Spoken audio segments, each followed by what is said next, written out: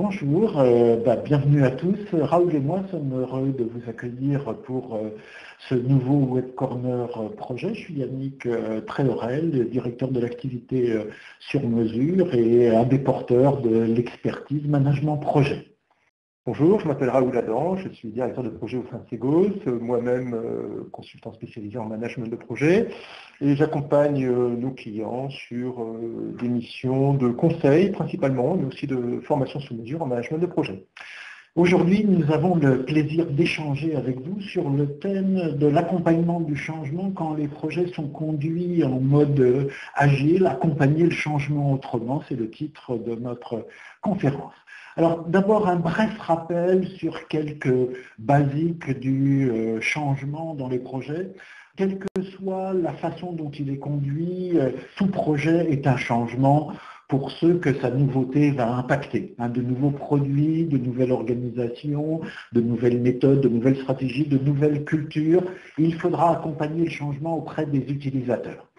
Euh, alors de quoi parle-t-on quand on parle d'accompagnement du changement? Il s'agit tout d'abord de faciliter l'appropriation par les utilisateurs pour qu'ils soient performants plus rapidement et durablement, bien sûr, et amortir les possibles impacts humains négatifs qui peuvent générer des résistances, stress ou peur que peut générer le, changement.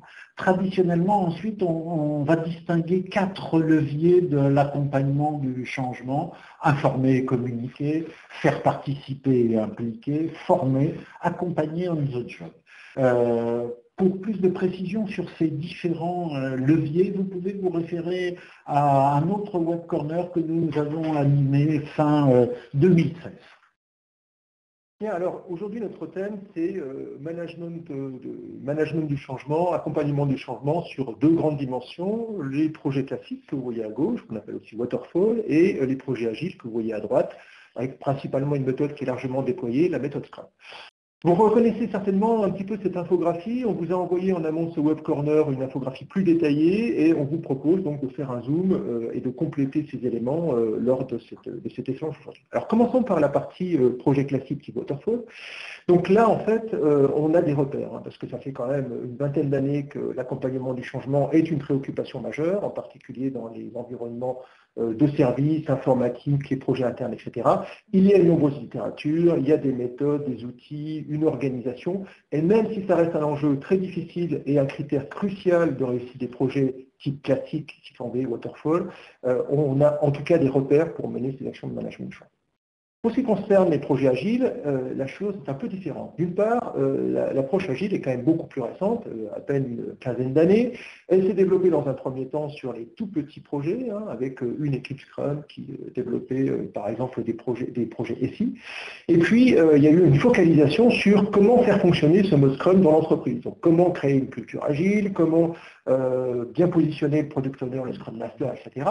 Donc, un gros focus sur la partie production. Et puis, il y a une, deuxième étape qui s'est euh, déclenchée avec la notion de agilité à l'échelle, c'est-à-dire cette fois-ci créer des grands projets Scrum avec de nombreuses équipes Scrum qui fonctionnaient en même temps et à nouveau euh, un gros focus sur euh, la, partie réalisation, c'est-à-dire comment faire fonctionner ces projets agiles à l'échelle. Et dans, cette histoire des projets agiles, en fait, on a largement délaissé les utilisateurs, puisqu'en fait, euh, aujourd'hui, on a plus seulement quelques dizaines, mais quelquefois quelques centaines, quelques milliers d'utilisateurs des projets agiles, et euh, on a trop fortement délaissé cette partie accompagnement de changement, considérant souvent à tort que euh, par nature, le projet agile embarquait les utilisateurs. En fait, il embarque un product owner, et ce product owner est quand même plus souvent la voix du client la voix du client interne plus que la voix des utilisateurs. Et donc, il ne faut pas tout faire reposer sur le product owner, d'où cette notion de conduite du changement d'environnement lâché. Donc, ce qu'on vous propose dans ce web corner, en fait, c'est vraiment de pouvoir euh, comparer les deux approches de conduite du changement, waterfall et agile. Alors, après avoir posé ces repères introductifs, pendant ce webinaire, nous ferons un clin d'œil à la méthode euh, Scrum, c'est la plus connue des méthodes agiles certainement. Euh, pour cela, nous avons organisé le contenu de notre conférence sous forme d'un backlog. Hein, pour rappel, un backlog dans le jargon Scrum, c'est la liste des fonctionnalités qui seront développées dans le cadre d'un projet. Euh, pour cette conférence, nous développerons trois éléments. Les impacts des projets agiles pour les utilisateurs, quelles priorités et précautions pour accompagner le changement en mode agile, et enfin, comment favoriser l'appropriation en faisant un focus sur le dispositif learning. À la fin de chacune de ces trois livraisons, nous prendrons une ou deux de vos questions, remarques ou idées pour euh, partage avec vous, appropriation et enrichissement. Vous pourrez poster vos, euh, vos remarques sur l'espace de chat qui euh, se trouve juste au-dessous de la vidéo. Alors, première euh, fonctionnalité, euh, euh, les impacts des projets agiles sur les utilisateurs. Raoul, qu'en est-il? Alors, on peut peut-être commencer par un premier sondage hein, qu'on vous propose pour cette partie. Donc, on vous propose un sondage avec la question suivante. Selon vous, le fait d'être en mode agile est-il un avantage ou un inconvénient pour accompagner le changement? Donc, on, attend vos réponses nombreuses. Donc on voit quand même qu'on mhm. a une large majorité des gens, plus de 90% qui considèrent que c'est plutôt un avantage. Mhm. On va se laisser encore quelques secondes pour euh, prendre euh, les, derniers sondages. Donc on arrive aux alentours de 80-85%.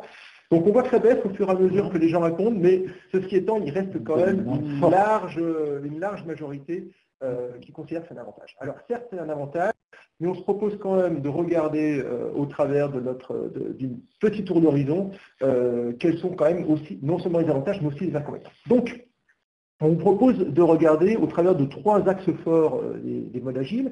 Tout d'abord, le premier axe fort, c'est mode agile, 10, livraisons successives étalées dans le temps. Alors certes, c'est un avantage. Pourquoi? Parce qu'évidemment, on va avoir des quick wins, c'est-à-dire qu'on va pouvoir très vite donner du corps euh, à notre projet, le, confronter aux utilisateurs, euh, obtenir du feedback, favoriser l'appropriation. Donc c'est un avantage essentiel, ce qui explique peut-être que vous ayez voté à 80% sur, euh, sur le fait que ce soit positif. Il y a aussi des inconvénients. Premier inconvénient de la livraison successive, on ne connaît pas le périmètre fonctionnel définitif et complet du, du projet. Et ça, ça va poser un problème en termes d'accompagnement changement parce qu'on ne va pas pouvoir communiquer sur le périmètre fonctionnel et donc sur la promesse du projet. Donc il va falloir communiquer sur d'autres choses, on en parlera un peu plus tard. En tout cas, il y a ce problème de couverture fonctionnelle. Deuxième problème que l'on a euh, pour ce qui concerne les projets agiles et la livraison euh, par, par itérative, on a une notion de priorité sur les livrables plus que sur la documentation. Ça, c'est inhérent au mode agile, hein, puisqu'on dit on livre d'abord et on documentera après. Mais ça, pose quand même un problème parce que ça ne rassure pas du tout les utilisateurs. Le fait de ne pas avoir une docu utilisateur complète, et en particulier pour les nouveaux venus, qu'ils soient nouveaux embauchés, nouveaux enfants, etc., la marge va être très haute quand ils vont être confrontés à des développements qui ont été faits en agile, puisqu'ils ne pourront pas euh, bah, s'approprier au fur et à mesure euh, le dispositif. Et puis enfin, un troisième point sur lequel euh, on voulait euh, attirer votre attention, cette notion de livraison successive, elle est, très favorable, mais elle a aussi un autre inconvénient, c'est une notion d'usure. En fait, quand on est dans un dispositif où on se voit livrer de manière progressive des, euh, euh, livraisons tout au long euh, d'un cycle qui ne s'arrête potentiellement jamais, ou en tout cas on ne connaît pas la date de livraison finale, eh bien, en fait on va avoir un dispositif où on se dit mais en fait est-ce que c'était pas plus mal avant dans le mode Big Bang où au moins en tout cas me livrer une fois c'était compliqué mais moi j'avais tout. Donc il y a cette notion quand même d'usure, en particulier dans le cas où on a des participants, des utilisateurs qui sont confrontés à l'utilisation en, simultané de deux systèmes d'information, l'ancien qui a, vocation à mourir mais qui est encore très utile, et le nouveau qui, dont la couverture fonctionnelle progresse euh, Donc, voilà pour la partie livraison successive. Alors il y a un deuxième axe euh, sur les projets agiles dont on peut parler, c'est le besoin des clients en partie tout au long du projet. Alors ça aussi, Premier avantage, évidemment, euh, bah, qui dit client dit quand même une proximité avec le, besoin utilisateur, en tout cas théorique, donc un meilleur avantage sur l'embarquement des équipes.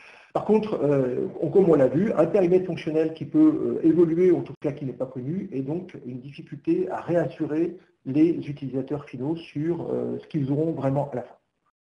Troisième dimension autour du projet Agile, priorité donnée au délai.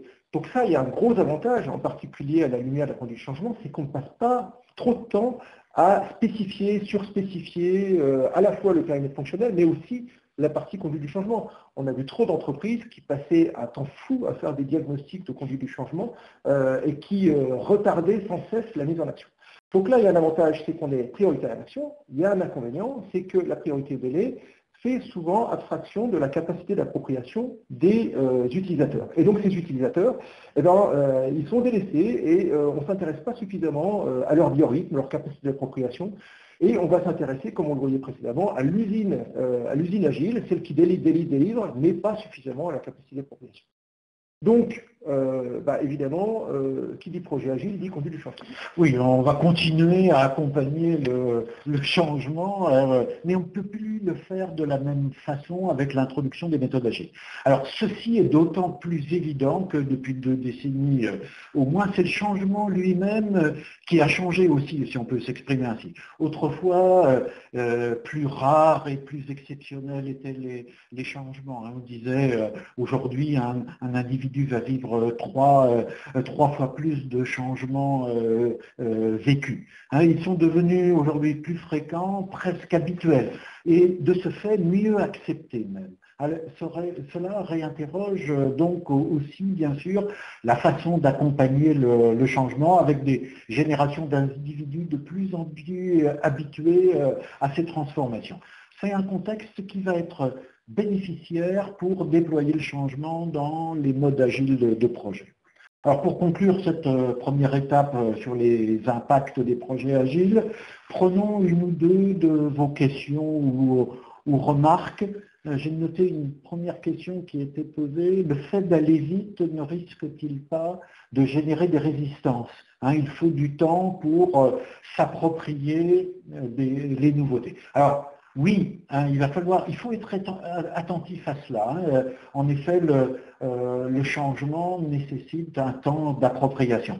Mais euh, comme on livre de façon progressive en mode agile, ça permet de minimiser le, risque et avec des populations qui sont, comme on l'a dit, plus habituées à, changer. Hein, nous avons constaté que en matière de changement, c'est souvent le premier pas qui coûte. Avec le mode agile, euh, la réalisation du premier pas est accélérée. Hein. la mise en situation est euh, faite rapidement.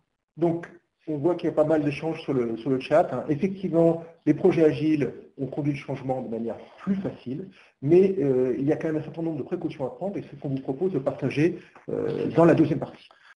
Alors, deuxième thème que nous vous proposons d'examiner, c'est euh, quelles priorités, quelles précautions en matière euh, d'accompagnement du, changement. On va euh, s'intéresser à trois priorités. Où mettre les moyens, quels leviers actionner. Alors, première priorité, moins de communication, plus d'expérimentation. Certes, on va continuer à communiquer, par exemple, sur les invariants, tout ce qui ne change pas pour donner des repères stables aux utilisateurs. Mais moins de communication au sens de moins de, rhétorique, moins d'argumentation en amont pour convaincre du bien fondé du, du projet et de son intérêt, mais plus d'expérimentation, de mise en situation. On passe de la recherche de l'adhésion avant l'action à la recherche de l'adhésion par et pendant l'action. Hein, on va faire participer plus vite les bénéficiaires à l'utilisation de la solution. On va leur faire vivre avant tout des expériences apprenantes. Hein, en matière d'accompagnement, on, applique le principe du faire agir pour faire changer.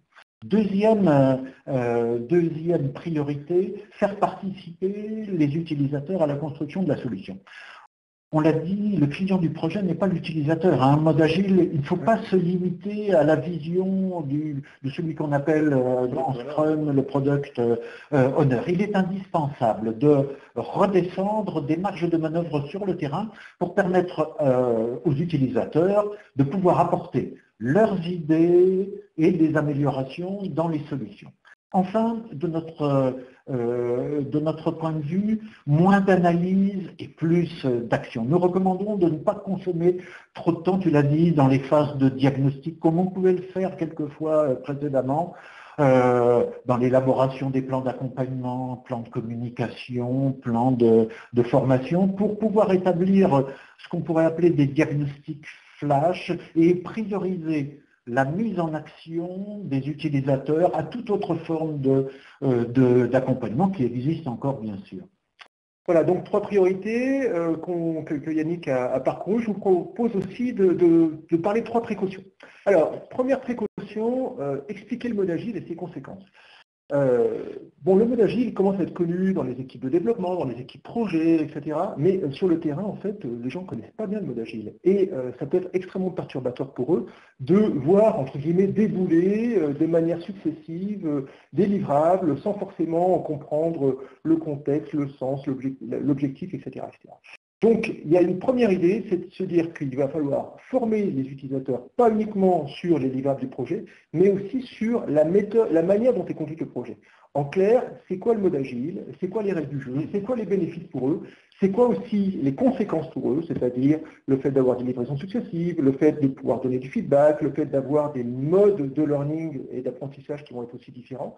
Donc il va falloir avoir cette, ce double formation autour à la fois de c'est quoi le livrable du projet, et aussi mhm. c'est comment est conduit le projet et quelles sont les conséquences de Ça, c'est le premier point. Ensuite, on a un deuxième point, deuxième précaution à prendre, c'est donner du sens. On l'a vu tout à l'heure, la particularité du mode agile, on ne connaît pas le périmètre fonctionnel, ni exactement comment vont se dérouler euh, les livraisons successives. Donc, il faut donner du sens, c'est-à-dire revenir à l'objectif premier, à l'enjeu, à la ligne directrice du projet. Et donner du sens, ça veut dire que concrètement, en fait, à chaque fois qu'on va faire une livraison, à chaque fois qu'on va faire une livraison de déploiement, il va falloir commencer par expliquer en quoi cette livraison, même partielle, contribue au sens et à l'objectif du projet. Voilà le deuxième, euh, deuxième précaution qu'on peut vous proposer. Donc, euh, donner du sens et donner du sens tout au long du déploiement. Et puis enfin, aller vite sans se précipiter. Ça, on en a parlé. Comme le focus a été mis beaucoup sur la capacité à délivrer vite euh, par l'usine de production agile, qui aujourd'hui délivre effectivement souvent à un rythme très élevé, en fait, il faut prendre en compte euh, la capacité d'appropriation des participants. Et en particulier, il va falloir, dans certains cas, désynchroniser le rythme de déploiement du, rythme de production. Donc ne plus s'intéresser uniquement à l'usine de production des voitures et à sa capacité à produire 1000 euh, voitures par jour, mais plutôt à l'utilisateur qui est, euh, on va dire, sur le marché, à sa capacité à s'approprier les nouvelles fonctionnalités proposées dans les voitures. Donc c'est ça qu'on veut dire par aller plus vite sans se précipiter. Euh, donc trois priorités et trois précautions. Merci Raoul. Alors quelques questions ou apports de votre euh, votre part. Alors, Raoul, oui, tu euh, voulais euh, faire participer les utilisateurs à la construction de la solution, c'est la méthode des, de UX designer, non? Oui, alors tout à fait. On en reparlera. Alors, le, parti pris, c'est de, de, prendre en compte vos questions au fur et à mesure des livraisons. Donc, on est comme dans un mode agile, c'est-à-dire qu'on va traiter d'un certain nombre de sujets un peu plus tard. Mais effectivement, l'approche UX va être très importante, à la fois pour la définition de ce qu'on va appeler le backlog euh, initial euh, et le, master plan du projet. Euh, ça va être aussi très intéressant pour le feedback dont tu nous parleras un peu plus tard. Alors, quelle principale résistance constatée en mode agile Je dirais, une des principaux difficultés que rencontrent les utilisateurs, c'est de, de, ne pas avoir une vision globale au départ de, la solution. Ça, c'est euh, un facteur de résistance qui peut être important. Et puis, euh, le fait d'être dans un rythme de changement permanent auquel certaines euh, personnes ne sont pas encore tout à fait habituées et adaptées. Hein, donc, euh, je mettrai en avant ces deux principales euh, sources de résistance euh, du mode agile. Alors, nous avons de nombreuses questions, on va peut-être en prendre une autre, et puis on les gardera pour la fin, les suivantes. Est-ce encore utile d'avoir un responsable d'accompagnement de changement dans les projets agiles? Oui, bien sûr, bien sûr, parce que nos acteurs, que ce soit le product owner ou les autres acteurs, ils sont centrés sur la, production de la solution livrée dans les délais, ce qui est attendu. Donc il est indispensable quelqu'un qui ait, lui, la vue utilisateur, la vue du besoin utilisateur, la vue de l'atterrissage de la solution. Donc indispensable encore euh, dans les méthodes agiles, le responsable de l'accompagnement du changement. Très bien. Alors, on a plein de contributions, on, les passera en revue tout à l'heure. Je vous propose d'avancer pour tenir nos délais. Euh, puisqu'on n'est pas inboxé, hein, évidemment. Euh, euh, troisième et dernière livraison avant la conclusion, favoriser l'appropriation avec un focus particulier sur le dispositif learning qu'on mettra en avant. Alors, tout d'abord, deux principes pour démarrer. Premier principe, le former juste assez et non pas au cas où. Hein, les utilisateurs doivent maîtriser les savoirs, les savoir-faire, les savoir-être qui sont incontournables pour appliquer, appliquer dans les situations euh, professionnelles nouvelles liées aux livraisons qui sont faites. Avant de déployer le projet auprès des utilisateurs, le principe est de ne pas vouloir les former à tous les cas possibles de façon large et exhaustive. En mode de gestion de projet agile, on va se concentrer sur le juste assez, sur les situations de travail euh, qui sont clés, qui sont à maîtriser prioritairement. Hein. on va former, par, on pourrait dire par petites bouchées, euh, en fournissant le minimum nécessaire, indispensable bien sûr pour agir. Second principe, bien sûr complémentaire euh, du, premier, c'est apprendre en faisant, en situation de, travail. Si nous nous inspirons du fameux modèle 70, 20, 10 du fameux Charles Jennings, 70 pour qui dit que 70% de ce que nous apprenons l'est en étant confrontés aux problèmes réels, aux situations réelles. Euh, alors dans le mode agile, on va mettre les, utilisateurs dans ces situations professionnelles nouvelles, dans une logique d'apprentissage continu en situation de travail on the job. Hein, on va s'inscrire ainsi dans un cycle application, essai, correction, amélioration. Alors, donc deux principes clés que l'on va, va voir plus en détail. Et euh, ce que je vous propose, c'est aussi hein, de, regarder un petit peu comment euh, évoluent les dispositifs euh, de formation et d'accompagnement entre le mode classique waterfall et le mode agile. Donc, en mode classique waterfall, on est dans une logique de flux poussé, c'est-à-dire ce qu'on va appeler le mode push. Qu'est-ce qui se passe concrètement? On, prévoit euh, la livraison avec un dispositif de Go Live euh, et de mise en production. Euh, on va faire prévoir une formation très en amont et qui va être de fait imposée aux utilisateurs où on leur apprend tout sur tout dans le dispositif. Quand on est en mode agile, on va avoir un changement de paradigme complet sur le dispositif de formation. Alors avec effectivement au démarrage un dispositif de type flux poussé, c'est-à-dire en fait un dispositif de formation euh, en présentiel ou en e-learning ou en classe virtuelle, euh, mais souvent quand même asynchrone et, euh, dans lequel on va embarquer les, participants, à la fois sur comment est, déroulé le projet, donc c'est quoi la méthode agile d'impact pour eux, on en a parlé, et puis c'est quoi les premiers livrables pour pouvoir commencer à utiliser la solution qui est proposée aux utilisateurs. Mais très vite, ce flux poussé, au fur et à mesure que le projet avance, en fait, va se substituer ou va, être substitué par le flux tiré, c'est-à-dire en fait un dispositif beaucoup plus pool dans lequel c'est les utilisateurs qui vont être sollicités pour aller chercher eux-mêmes on the job, juste assez, juste à temps, les ressources dont ils ont besoin pour utiliser le livrable du projet. Donc très concrètement, on ne va pas avoir une disparition des dispositifs de formation classiques, mais une réduction et un changement de format. Typiquement, à chaque livraison euh, principale, on va avoir un dispositif de formation avec un petit teaser pour redonner du sens et redonner la vision et ce en quoi la livraison euh, va contribuer à l'objectif du projet, et puis euh, quelques éléments euh, clés pour pouvoir démarrer et utiliser les fonctionnalités proposées, et puis surtout, de plus en plus, un accès à des ressources qui peuvent être extrêmement variables, des fiches pratiques, des modes opératoires, une aide en ligne, une communauté de pratique, un forum, etc. En tout cas, des choses qui sont à la disposition du participant et dans lesquelles il va aller chercher ses ressources je vous propose peut-être de regarder euh, sur un exemple ce que ça peut donner. Euh, et on a utilisé un exemple euh, en utilisant un framework agile qui s'appelle SAFE, qui est, bien connu, qui est le, plus répandu, on va dire, et dans lequel en fait on fait de l'agilité à l'échelle, donc sur des grands projets. Alors qu'est-ce qui se passe? Dans l'usine de réalisation, là on a pris que deux équipes, une équipe A et une équipe B, qui va mettre en œuvre des fonctionnalités A, B, C, D, etc. Et ce que nous propose le modèle et le framework SAFE, c'est euh, de faire des trains de livraison, c'est-à-dire en fait de euh, récupérer euh, ben, sur une time box donnée, on va dire des livraisons. Donc on voit par exemple ABC pour le Agile Release Train numéro 1, DEF pour le Agile Release Train numéro 2. Et mais en fait on s'aperçoit que ça, on ne prend pas du tout en compte la capacité de l'utilisateur à s'approprier ça. Et donc ce qu'on propose chez CEDOS, en fait, c'est de mettre en place sur l'étage apprentissage qu'on a appelé en interne Agile Learning Train, hein. donc en fait une, notion de concaténation et de regroupement de plusieurs trains de livraison dans un train d'apprentissage qui va être plus cohérent et plus respectueux des, des capacités des utilisateurs à, l'utiliser. Et donc, cet Agile Training, il va évidemment euh, donner la part belle à euh, beaucoup de distanciels, euh, beaucoup de on-the-job, etc., etc., comme on l'a vu précédemment. Alors, on a dit tout à l'heure qu'on apprenait en faisant, en situation de travail. En mode agile aussi, on va aussi fabriquer, améliorer la solution en apprenant. Hein, on, apprend en faisant, on fait en apprenant, on pourrait dire.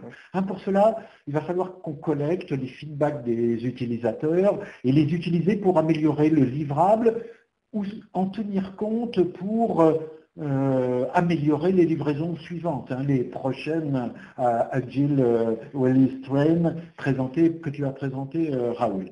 Hein, il faut que les feedbacks utilisateurs puissent remonter au process owner, feedback terrain qui peuvent être remontés par des modalités multicanales, soit par les key users, soit par d'autres relais terrain, mais aussi par des forums ou autres modalités communautaires. Euh, ensuite, le processeur euh, va devoir traiter, prioriser, retenir les meilleures euh, idées à prendre en compte pour la livraison des futures fonctionnalités. Attention, pour que cela fonctionne, une recommandation, euh, c'est qu'avec les utilisateurs, il y ait un retour qui leur soit fait sur ce qui a été retenu ou non, et leur donner en transparence les explications sur les décisions qui ont été prises de retenir ou pas les idées qu'ils ont communiquées. Et là, on voit bien en fait que ce caractère de cette notion de transparence et de collaboratif prend tout son sens. Hein. C'est vraiment un, des gènes du mode agile. Et tout à fait. Alors sur ce point, on a une question sur le retour notre retour d'expérience concernant les, les communautés d'apprentissage. Ah bah, c'est justement le sujet. Alors les communautés d'apprentissage. Donc, comme vous l'avez vu dans cette notion de flux poussé fluturé, les communautés d'apprentissage deviennent vraiment plus seulement périphériques dans les dispositifs d'apprentissage, ça devient vraiment central et en particulier dans cette logique de, pool, c'est-à-dire que les utilisateurs vont chercher l'information et les, réponses à leurs questions dans un dispositif communautaire. Mais ce dispositif communautaire, ce n'est pas quelque chose qui est autoporteur. On sait tous que les communautés d'apprentissage, ça, tient du rêve, et en tout cas, ça ne fonctionne pas tout seul. Donc il faut y mettre des moyens, et en particulier, mettre en place un dispositif de community management extrêmement solide et euh, quelque part qui peut solliciter des quasi-professionnels ou alors des super utilisateurs qui se voient confier un rôle et du temps et des moyens et aussi de l'information pour devenir community euh, manager sur euh, le périmètre fonctionnel ou le périmètre géographique qui les intéresse pour créer de la proximité et services communiqués. Ok. Mhm. Alors, il est, temps pour nous maintenant de, conclure et de répondre ensuite à quelques dernières questions. Euh, il y en a encore euh, de nombreuses que vous avez euh, posées. Alors, en, termes de conclusion, ce qu'on a envie de dire finalement, c'est une nouvelle logique d'accompagnement du changement qu'induit le mode agile. Hein, on, on passe de l'utilisateur, qu'on pourrait dire passif, qui subissait le changement, qui devait l'accepter, qui devait s'approprier, utiliser quelque chose qui leur était imposé, voire étranger, à des utilisateurs qui vont être acteurs, coproducteurs, on pourrait peut-être même dire co-auteurs du changement qu'ils vivent. En fait, à projet agile, on va associer changement agile avec l'intégration des utilisateurs, c'est tout le système qui, euh, devient agile. Très bien. Alors, ce qu'on vous propose, c'est qu'on va prendre en compte vos questions euh, juste après. On voudrait juste vous passer un petit message concernant euh, Segos, euh, parce que certains d'entre vous ont peut-être des limites temporelles. En tout cas, nous, on n'en a pas, on est, on est là pour vous. donc, juste pour vous rappeler qu'on fait du consulting, hein, donc, par exemple, justement sur la mise en place de ces méthodes agiles et de l'accompagnement au changement agile. On fait des formations soit packagées, soit sur mesure, bah, par exemple autour de référentiels de conduite de projet maison, ou même dans le cadre des projets sur le déploiement de, vos solutions euh, système d'information maison. Et puis, euh, on met une touche particulière à l'innovation, que ce soit l'innovation sur euh, les méthodologies de conduite de projet ou les innovations en termes d'apprentissage. J'espère que ce, que ce dont on a parlé aujourd'hui vous a convaincu. Euh, alors, vous savez peut-être, euh, ce Web Corner fait l'objet d'une famille, hein, d'une série Web Corner qui est disponible sur segos.fr. On a traité plusieurs sujets, hein, donc par exemple PMO, tacticien ou stratège, on a traité d'agilité, de management par les risques, de créativité et d'innovation dans les projets. donc pour développer des opportunités dans les projets. On a parlé aussi de la posture du manager de projet agile. Donc vous les retrouvez tous sur le site Segos. Et puis on a aussi un, blog qui s'appelle blogprojet.fr qui est visité par euh, plus de 10 000 visites par mois, donc ce qui est quand même tout à fait euh, colossal, et avec pas mal de contenu. J'espère que vous y trouverez des choses intéressantes. Alors on peut peut-être passer euh, aux, questions. Tout à fait, oui. Alors, alors moi j'ai une question que je vois. Euh, les processus en BW ou en B ne sont pas incompatibles avec la méthode agile. cela dépend de la phase dans laquelle on se trouve. Tout à fait d'accord. Alors pour simplifier notre débat, on a opposé entre guillemets le mode waterfall au mode agile. Euh, en utilisant vraiment les deux extrêmes euh, typiques, mais on sait bien que la vraie vie aujourd'hui, et ce qui remporte le, vraiment l'assentiment de, de, nos clients à des grandes organisations, c'est les modes hybrides. Les modes hybrides dans lesquels, en fait, on va euh, avoir en amont une phase de structuration plus forte, et puis dans la phase d'exécution, par exemple, un mode agile, Scrum, etc. Donc, évidemment, tout ce que l'on a dit là, c'est à modérer, tempérer, éclairer en fonction de votre réalité mais euh, gardez bien quand même en tête euh, certaines priorités qu'on a proposées avec certaines précautions, parce qu'elles s'appliquent même en mode hybride. Alors on a une remarque de l'un d'entre vous qui dit en termes de soft skills, euh, méthode séquentielle et agile, même combat. Euh, oui, bien sûr, euh, on va utiliser les, mêmes leviers hein, pour l'accompagnement du changement, c'était notre, thème. On va utiliser les mêmes leviers, euh, l'information et la communication, la participation, l'implication, l'accompagnement sur le terrain on the job, et puis la formation c'est le dosage entre ces différents leviers qui va être différent. Hein, on l'a vu, l'implication, la participation, euh, la, mise en œuvre seront accentuées, la communication et l'information seront allégées. Hein, donc oui, même combat. Bien, alors on a, une question sur qui est garant du suivi des coûts euh, et garant de la qualité. Alors on ne va pas revenir euh, dans ce web sur le mode agile versus mode waterfall. Je voudrais juste quand même évoquer cette dimension coût et qualité euh, par rapport à la notion de conduite du changement. Euh, comme certains d'entre vous le savent, en mode agile, euh, ce qui compte, ce n'est pas le périmètre, c'est les drivers principaux, c'est les coûts et la qualité. Donc, budget box, time box. Il faut raisonner de la même manière en termes de conduite du changement, mais avoir quand même des indicateurs sur le retour terrain. Donc ça veut dire qu'il va falloir, dès le démarrage du projet, avoir prévoir un budget pour euh, assurer cette euh, conduite du changement et prévoir aussi euh, bah, en fait, ces fameux Agile Learning Trains. Alors désolé pour l'anglicisme, j'ai vu qu'il y avait une, remarque sur ce, dispositif, mais c'est issu d'une méthode anglo-saxonne, donc on utilise les termes anglo-saxons. Donc il va falloir quand même prévoir un budget spécifique et réfléchir à cette notion quand même de fréquence de déploiement qui doit être, comme on l'a vu, découplé du dispositif de production euh, de l'usine agile. Alors, est-ce qu'on a d'autres... On a une question, comment l'information des changements peut descendre toute la chaîne pour arriver jusqu'à l'utilisateur final. De l'importance, euh, alors c'est vrai en waterfall, c'est vrai euh, en mode euh, agile, de la mise en place des relais de communication qui vont apporter l'information jusqu'aux utilisateurs et faire remonter aussi les informations terrain. Hein, important de tisser tout le territoire avec ces acteurs relais qui vont être euh, des transmissions, des courroies de transmission de l'information à la fois descendante et remontante. Alors, euh, on a euh, une autre question qui est en, lien avec la précédente. Là. Selon moi, l'objectif est défini en début de projet si changement impact sur le coût, délai, qualité. Alors, qu'on se le dise bien, hein, en mode agile, la vision est connue, L'enjeu, l'objectif est connu. Par contre, le périmètre fonctionnel n'est pas forcément connu et peut varier en cours de, route. Euh, donc on peut décider d'arrêter un projet agile en, cours de route, même si on n'a pas forcément euh, épuisé tout notre, tout notre backlog. Donc c'est la raison pour laquelle on a insisté sur le fait qu'il faut vraiment communiquer sur le sens du, du projet agile plus que sur son périmètre fonctionnel. Et à chaque fois qu'on va faire une livraison de déploiement, bien expliquer en quoi cette livraison participe au sens, même si on ne connaît pas forcément tout le périmètre fonctionnel à ce stade. Alors, à, modérer quand même avec les approches hybrides dont on a parlé tout à l'heure. Alors, on a une autre question. Comment suivre le principe apprendre euh, euh, en faisant pour les équipes multisites? Euh, Alors, si on a euh, un déploiement, c'est ce que je comprends, hein, sur différents euh, sites, il sera important pour les, utilisateurs qu'ils aient des moyens d'aller chercher les informations. C'est le fameux pool qu'on a mis en avant, les moyens d'aller chercher les informations dont ils ont besoin pour agir dans leur quotidien pour mettre en œuvre euh, euh, le changement qui a été euh, décidé et qui est descendu.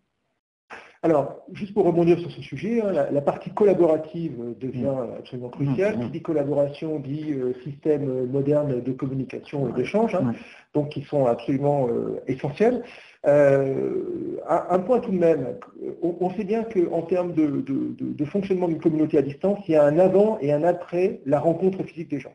Donc c'est la raison pour laquelle on ne voudrait pas du tout euh, jeter le bébé avec l'eau du bain. Une formation présentielle, des temps synchrones sont vraiment, restent cruciaux. Alors certes, moins fort que dans les dispositifs traditionnels, hein, type Waterfall, mais encore important parce que ça va créer en particulier le lien et la, confiance entre le community manager et euh, les utilisateurs. Et donc, qu'il soit multi-site, alors évidemment en offshore c'est plus difficile, mais en tout cas en France ça se fait assez bien, il faut quand même un temps dans lequel les gens se connaissent, se, côtoient, se font confiance pour euh, initier la communauté d'apprentissage. Est-ce qu'on a d'autres euh, questions? Est-ce qu'on a d'autres questions qui sont en lien avec notre thème du jour? Alors, comment éviter les changements fréquents d'orientation auxquels le mode agile offre un avis? Alors, Évidemment, euh, l'agilité mal interprétée, euh, ça peut être considéré comme euh, un bateau qui change de cap et qui ne sait pas où il va. Hein. Donc, il, est quand même crucial, et c'est pour ça que je voudrais revenir sur la notion d'hybridation, de quand même bien cadrer en amont tout projet, qu'il soit fait en mode waterfall, hybride ou agile, de manière à avoir un cap précis, ou en tout cas une destination précise. Alors, évidemment, dans le cas d'un waterfall, on va savoir exactement, euh, si je reprends l'image de la transat de le port d'atterrissage. Dans le cas d'un projet agile, on ne va pas avoir forcément le port d'atterrissage, mais en tout cas la direction dans laquelle on va, donc les ventiles, par exemple, euh, donc pour faire une petite, euh, un petit clin d'œil à l'actualité nautique. mais, en tout cas, on ne doit pas changer de cap. Hein. C'est-à-dire qu'il faut vraiment, on, peut nous voyer, mais en tout cas, on, on, doit pouvoir avoir un cap sur lequel on va pouvoir communiquer. Parce que conduire le changement, accompagner le changement, c'est donner du sens. Et il faut vraiment avoir un sens crucial. Ah, euh, cette vision de, du sens, cette vision de là où on va, est un repère indispensable pour euh, euh, les acteurs et les utilisateurs en particulier. Voilà. Alors, bon, on répondra aux autres questions. Il y en a encore quelques-unes qui sont moins directement liées aux problématiques de l'accompagnement du changement qui était notre thème. mais nous y répondrons malgré tout. Alors Raoul et moi, nous vous remercions pour votre participation nombreuse euh, à cette euh, conférence. Euh, nous avons eu au cours de cette année beaucoup de plaisir à partager avec vous quelques-unes de nos convictions sur le management de, de projets lors de Web Corner. Merci de prendre quelques secondes avant de vous déconnecter pour nous donner votre avis sur cette euh, séquence. Euh, au revoir, à bientôt. Et vous retrouverez donc euh, cette séquence filmée au travers d'un lien qui vous sera envoyé très prochainement. Merci à très bientôt, au revoir. Merci.